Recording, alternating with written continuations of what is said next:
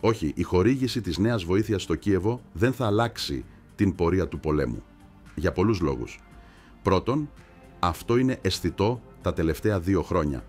Επιπλέον, για να αλλάξει η πορεία του πολέμου, η Ουκρανία πρέπει να ξεκινήσει μια αντεπίθεση με αυτά τα χρήματα. Νέα αντεπίθεση.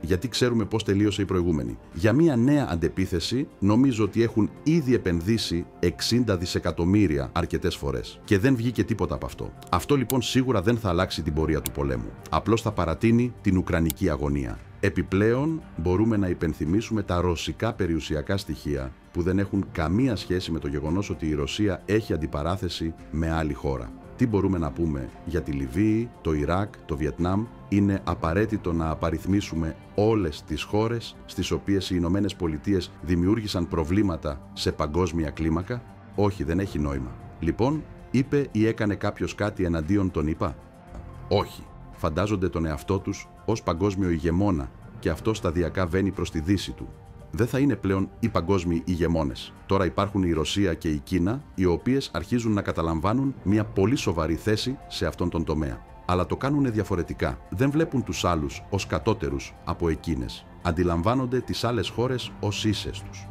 Νομίζω ότι αυτό θα είναι ένα πολύ μεγάλο πλεονέκτημα για τη Ρωσία και την Κίνα και άλλες χώρες των BRICS. Γιατί δεν αντιλαμβάνονται μικρές χώρες ως υποτελείς, δουλοπάρικους ή παραπεταμένους. Αυτό είναι που κάνουν οι ΗΠΑ εδώ και πολλά χρόνια.